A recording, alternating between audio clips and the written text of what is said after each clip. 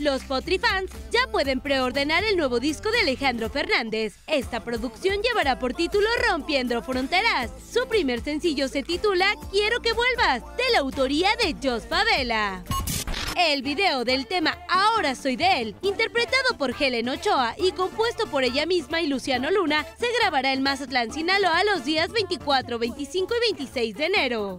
Además, Helen será parte de un taller de compositores a realizarse en la CESAC. Se dice que el cantante Ulises Quintero se encuentra en Culiacán, Sinaloa, grabando un dueto a ritmo de banda.